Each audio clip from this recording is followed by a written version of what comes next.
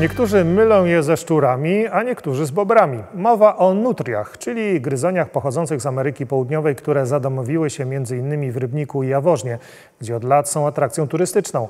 Według najnowszych raportów Regionalnej Dyrekcji Ochrony Środowiska nutrie trafiły na listę 100 najgroźniejszych gatunków inwazyjnych na świecie. A te z Jaworzna i Rybnika w najlepszym wypadku czeka specjalnie stworzony azyl. Karolina Komada.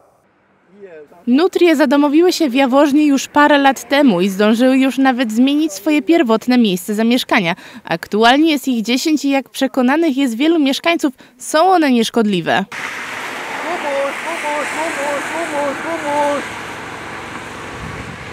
Pan Marian od lat ma z nimi bliski kontakt, bo regularnie nutrie dokarmia. A tak to co, codziennie. Bierę i no daję. Tutaj też stołówkę mają tu i tu.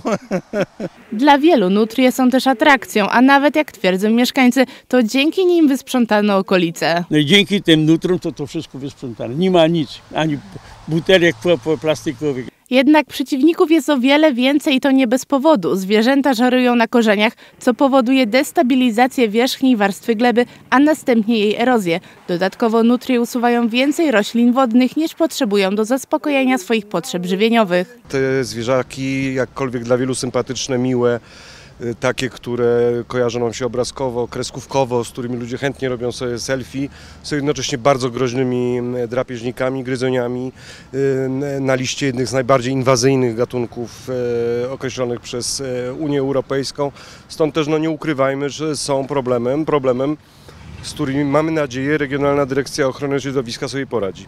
O wiele większy problem jest w Rybniku, gdzie nutrie początkowo zamieszkały przy rzece Nacyna, a teraz pojawiły się już w wielu innych dzielnicach. Jak zapewnia Regionalna Dyrekcja Ochrony Środowiska, zgodnie z europejskimi dokumentami nutrie to gatunek, który znajduje się na wczesnym etapie inwazji, w związku z czym podlegać powinien on szybkiej eliminacji. Są dwie drogi postępowania w związku z nutriami, czyli e, możliwość odłowu i przekazania do azylu bądź e, specjalnego miejsca, które posiada zezwolenie e, Generalnego Dyrektora Ochrony Środowiska na tr- przytrzymywanie e, tego gatunku IGO, bądź też uśmiercenie.